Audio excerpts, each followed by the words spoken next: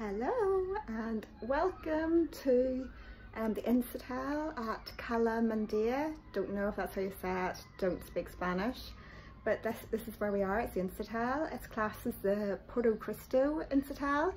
Um, but yeah, it's in Cala Mandia. Um, we've been here for nine days now. We go home tomorrow. And I just thought I'd show you a quick tour. I know this is always the sort of thing I look at rather than TripAdvisor um, just so I can see what rooms are like. That's mostly it. You like to know what sort of space you're going to get. We are a family of four. We have, it's me, my husband, my four-year-old and my little boy, he's one. Um, and we're sharing a suite. Um, it's not the biggest living space, but we've made do. Um, as you'll see in the tour, it's quite messy. It's so hard, like being confined to such a small place whenever there's four of you including two quite high maintenance messy children who need a lot of things and a lot of snacks. But yeah it's fine. My um, little boy's actually asleep in the other side of the room and um, so I won't be able to show you that but I'll show you it after but this where I'm going to show you now is actually the bedroom where um, my husband and I have been sleeping and then the kids have been on the other side Stella's been on the pull-out sofa and my little boy's been in a travel cot so it hasn't worked out too badly for us. But I'll turn the camera around and let you see. So yeah, this is it. Um, this is the room. Our table. Two um, single beds pushed up together. Messy, messy, messy, messy, messy. Oh my goodness, so messy. It looks even worse through the camera. and that's the sliding door where my son is sleeping through there. TV, mess, and I'll show you our little balcony as well. We're in room 1155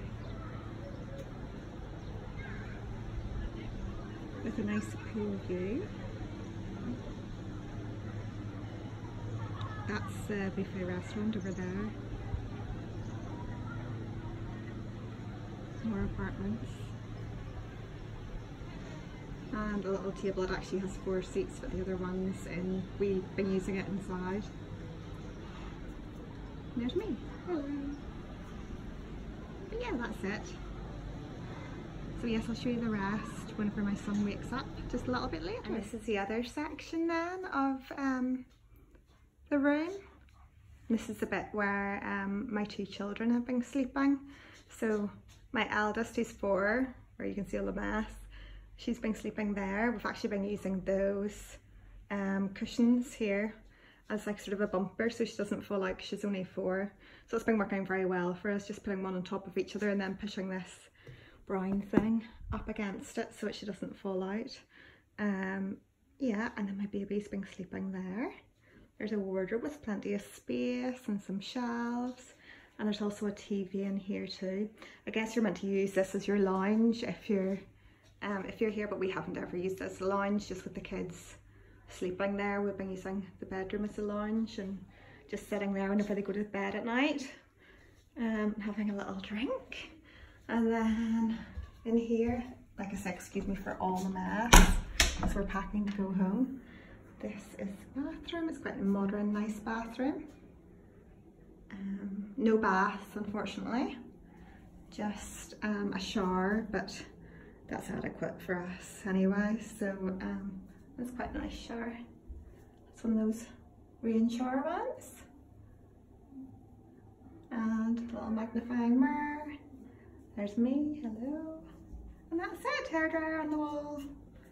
Yeah, and then in through there where that sliding door is, that's back to the master bedroom again. And that's it. So I hope that's been a help. And like I say again, this is room 1155. When there's a window there just to brighten it up a bit, we have the curtains closed. And that just goes on to um, the corridor with other rooms, which is outside. And that's it. Bye.